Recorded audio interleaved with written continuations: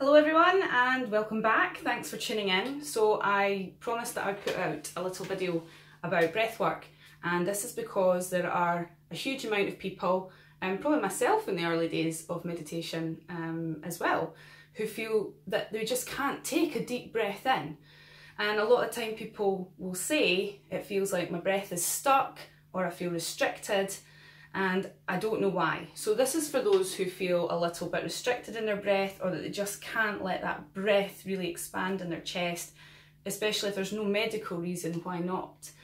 And this is because subconsciously, so we're not aware it happens, when we become stressed, when we become anxious, worried, uh, fearful, doubtful, we subconsciously hold our breath. So if I'm kind of demo this now, we kind of get that breath stuck in our chest. It's really common in children. You've seen children all the time when they get really upset, they're sucking in that breath and you're having to get them actively to breathe out again. Um, so how can we how can we change this? What can you do at home? Or if you can come to class, we'll talk through it. The main thing I would say is focus your awareness on your a breath out because any long, slow breath out will help the nervous system kick in and it automatically relaxes the body.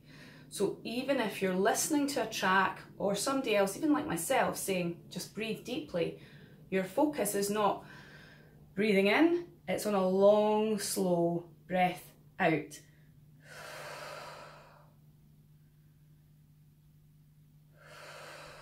You're almost, you know, like blowing up this very gentle balloon, a long, slow balloon and filling it with all that carbon dioxide that's built up in your system so that the rest of your body, all the muscles and organs can really relax.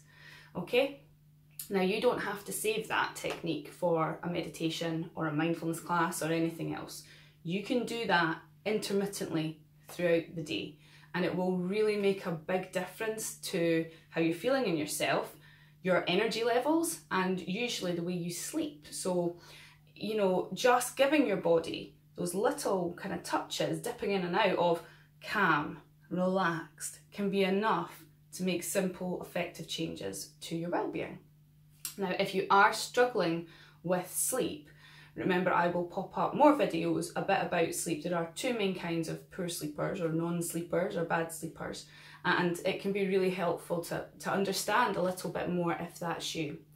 Now in the meantime, if you're subscribing to the videos, that's great, but remember you're always welcome along at a class, an event, want to listen to one of the freebies on the website, and you can find out more or just message me and I'll speak to you soon. Bye!